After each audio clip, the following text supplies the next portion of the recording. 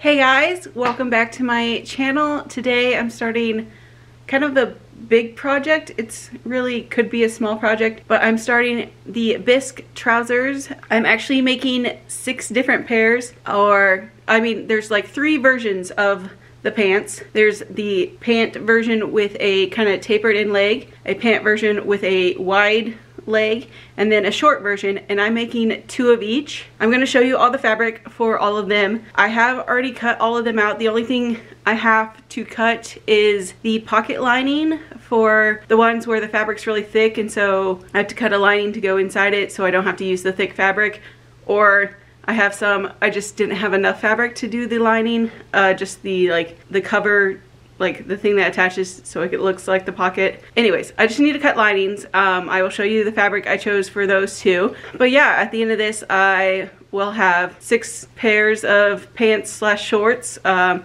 I'm doing two of each version. So two wide leg, two tapered in leg, two shorts. In this video, you'll probably only see me make a pair of shorts and a pair of pants because I am gonna do them all together, but I have those two pairs that you'll see in this video are to be done with white thread and I already have white thread on my machine. I just have to change the needle and the, the presser foot um, because I finished a quilt last night. But all the other pairs, um, I'm to use black thread. So, and I still have to like make a bobbin for that. So I'm not going to interchange in between, you know, the threads. So I'm to do the two white pairs, which is a pair of shorts and a pair of pants, the tapered in pants. And those are the two you're to see in this video. And then I will later on switch out the thread and finish the other four. But the actual making part of this video is just going to be the two pair. And yeah I'll show you show you all the fabrics real quick and I'll tell you I know which ones are which style and then we'll get start sewing. So let's go. We're gonna make a lot of pants today.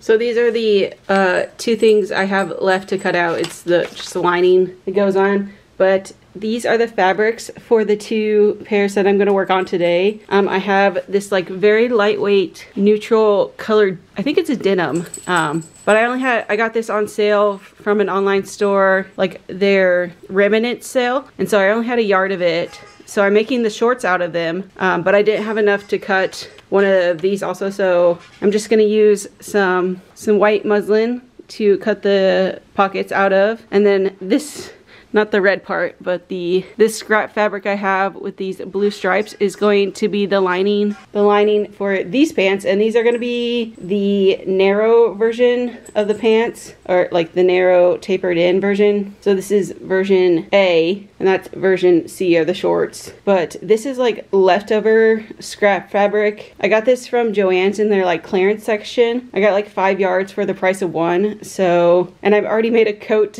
out of this fabric. It's like a I don't know, a wool flannel. It's kind of fuzzy. It's very soft, but I had I made a coat out of it already, and then I had extra, so I made I'm going to make the pants, and since it is a little thicker, I am going to use a pocket lining, but I'm just going to use that stripe one. I have the white for the white shorts, and those are the two you're going to see me work on because I'm using white thread for both of these. But the other four are the ones over here, um, and so these are the other pair of shorts. I had enough fabric to cut out the pocket lining fully for this one. And this is just like a lightweight black, I don't know what kind of fabric. It's not silky, but I don't know, like a lightweight twill or something. So I have another pair of shorts in these and this is all the fabrics so I don't need to cut a lining for this one but then I have my other version B which is this houndstooth kind of suiting fabric. It's a little thicker. Um, it's very, very, very slightly see-through. You maybe see it. Um,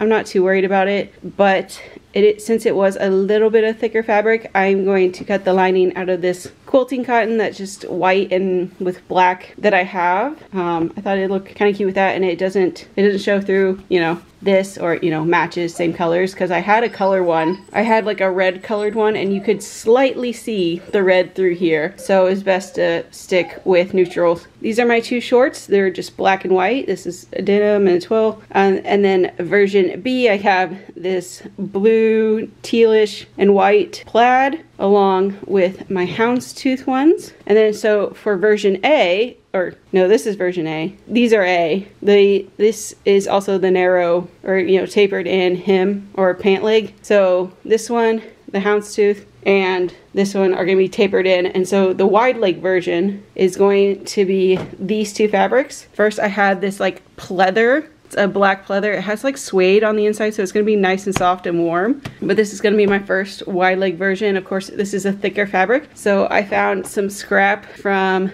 my wrap skirt that I made. I actually made a video on it. I will link it. But this is the scraps, so I figured I can make the pockets out of this. I think that'd be really fun to have like pleather pants and then leopard cheetah print pockets. So very fun. And then the last pair is this green, it's like a suiting fabric. It's a solid suiting fabric. Oh, and I actually did cut the whole pocket out of this one. So I don't need a pocket lining for this one. So yeah, these are the two I don't need to cut pocket linings for. I felt this was, I guess, thin enough to, but this is, you know, the pocket will eventually go like that. Um, so this is the pocket for the ones that the fabric's too thick or didn't have enough, this is what you attach to the pocket lining. So when I say I need a pocket lining, you're only gonna, you're gonna see this part on the outside of the like diagonal pockets and then on the inside will be the fabric. So I was, before, when I last night was going through fabric, I was gonna make this,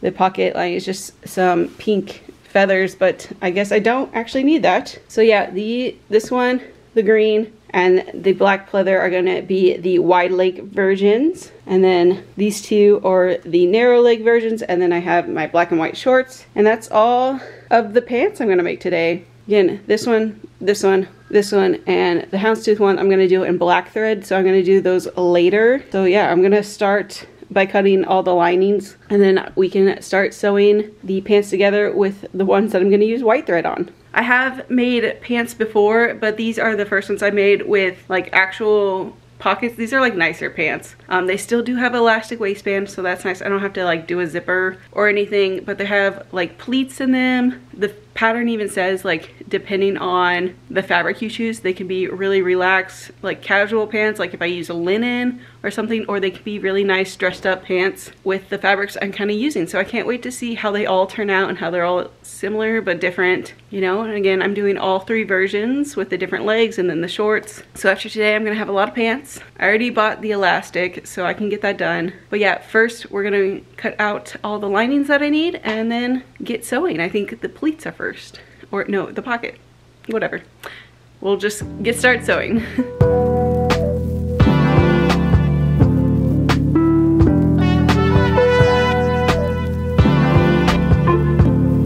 So I got all the lining pieces cut out, but the first thing we're gonna do is put the pleats in. Um, I already changed my needle and my footer, so I'm ready to go. So I just need to get the pattern back out and mark my places and sew the darts in. So let's get started.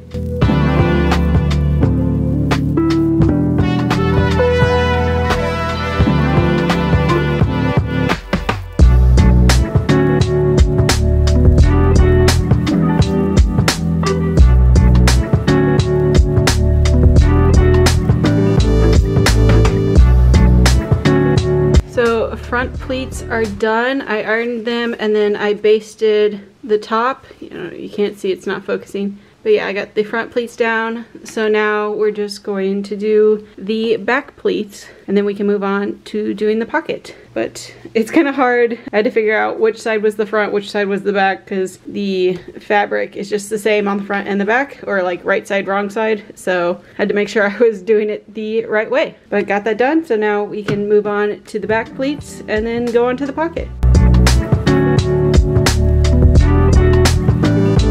So next I'm doing the pocket bearer with the pocket lining. Got it cut out, I got my notches made. So I just have to sew those on like so for each side. So yeah, I'm going to sew those on and then it will make the larger piece with this being the piece that shows and this being the inside of the pocket. But yeah, we just gotta sew those together now. So I'm gonna sew these on and we're gonna make a pocket.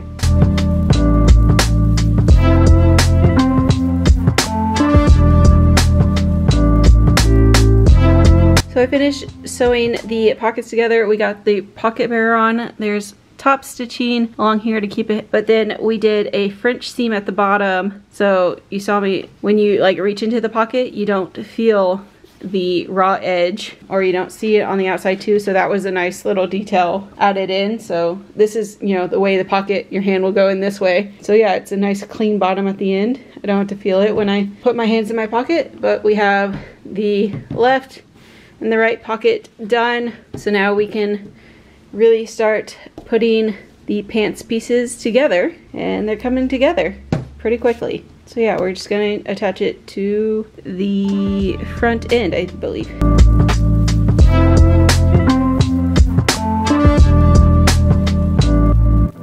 Okay, so I have the pockets finally sewed on. Um, since I actually filmed last, I realized I sewed them wrong like completely sewed the wrong pocket onto the wrong side. So I had to unstitch a bunch and then I had to resew them.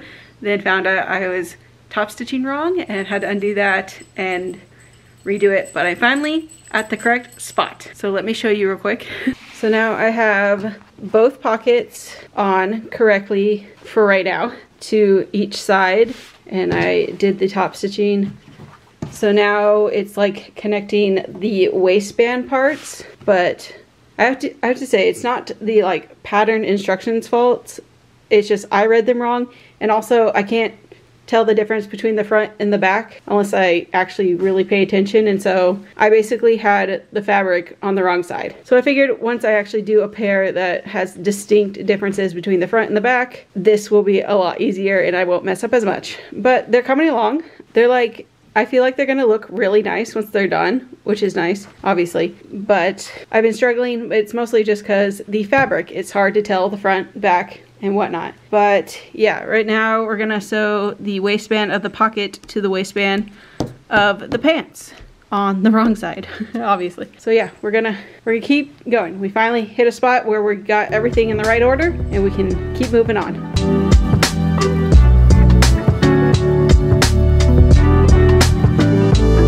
Man, that last stitch really helped bring these pockets together because see, this is the inside. It's laying nice and neat. It all lines up. Um, and this is what it looks on the other side because here's the pocket. You can see really starts to line up. You got the pleat, the pocket. It's really come together. So now I have to baste stitch this, I believe. See, I'm gonna baste it to the side and here yeah through all the layers. Uh, since it's a baste stitch it's not gonna it's gonna come out eventually. Uh, now I know I have the pockets on correctly because it looks exactly like the pictures and they're laying out so nicely. We're coming really close to um, actually sewing these legs together. So yeah it's going uh, nicely now and it's a lot easier to tell what's going on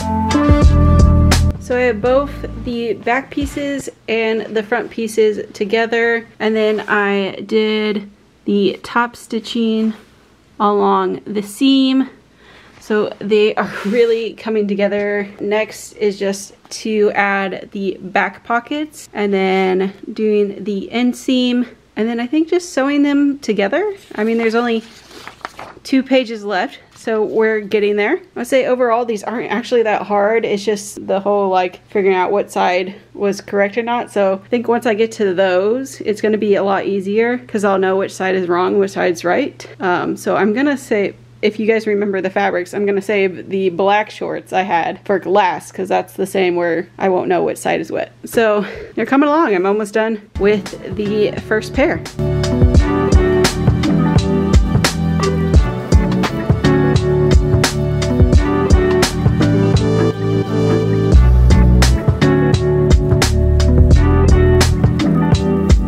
Back pockets are now attached. Hopefully they are evenly placed on there. Guess it's, is it, it is what it is now.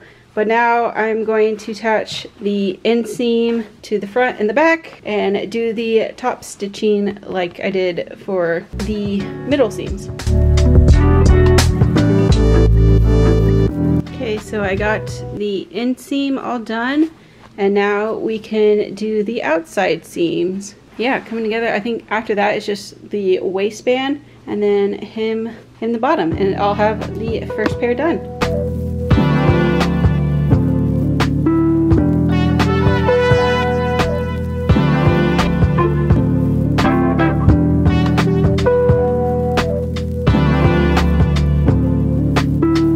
So I did put on my shorts. Um, I haven't put on the waistband yet, but they're a little tight, but you know, I was able to get them on. So I'm not gonna do the elastic like super tight, but I mean, I was able to get them on, so that's good. And yeah, I just have to put in the elastic part and then hem it up and these will be done. I'll have a nice pair of pants. I got the pockets on the back, pockets in the front. So yeah, almost there.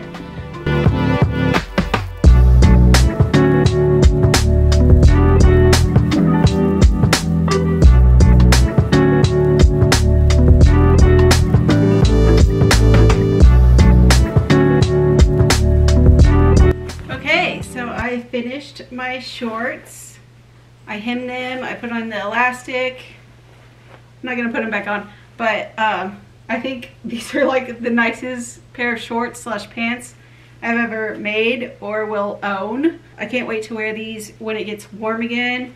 Maybe I can try to stylish, try to style them, uh, maybe with some tights and stuff, and maybe a sweater, but yeah, I just did the hem. The elastic is in there. So yeah, I can put them on, but I'm not going to right now.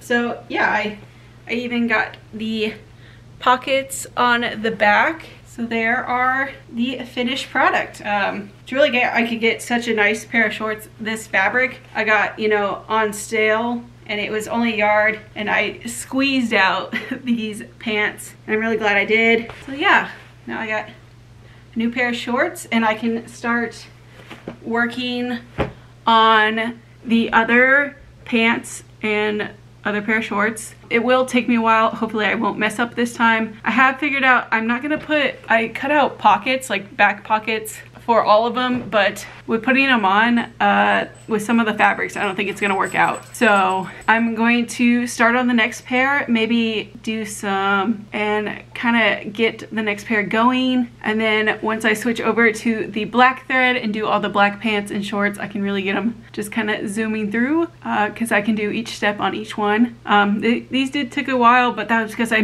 messed up quite a few times on the pockets. So hopefully this will also be easier because I can tell the difference between the front side of the fabric and the back for basically all the rest of them besides the other pair of shorts. So yeah, I hope you guys enjoyed this video. I cannot wait to wear these shorts and finish making the pants and wear them. I will try to be posting the finished product of all of these on Instagram because I definitely will be wearing them and taking photos in them. So you can follow me there, and maybe see the, the rest of them done. But I hope you guys enjoyed this video and I will see you in the next one. Bye!